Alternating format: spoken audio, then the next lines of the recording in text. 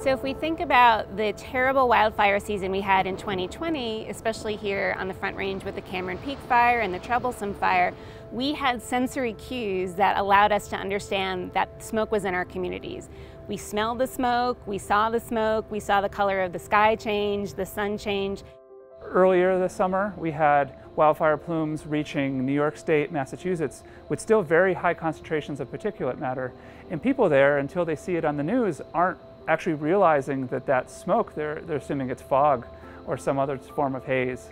So wildfire smoke is actually a mixture of many particles and gases, but one of the particles we're particularly concerned with is fine particulate matter, or PM2.5. And these are tiny, tiny particles, and they are 2.5 micrometers, which is a thousandth of a millimeter, in diameter, so these are really small. When particles are that tiny, we can inhale them deep into our respiratory tracts, and these particles can interfere with oxygen exchange and cause systematic inflammation throughout our body. So not only are our lungs impacted, but organ systems throughout our body are impacted. That wildfire, that wood smoke, that campfire smell, chemically reacts away in the atmosphere in about a day.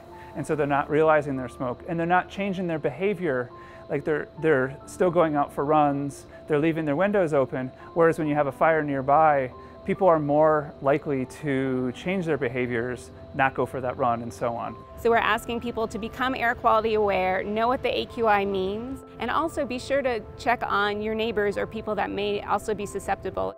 It's useful now that many of our phones are giving air quality updates. The news is, seems to be very aware when we're in smoke or when the air quality is bad. So just going to your information sources and finding when the air quality might be bad, or if you see that it's hazy, you may want to look things up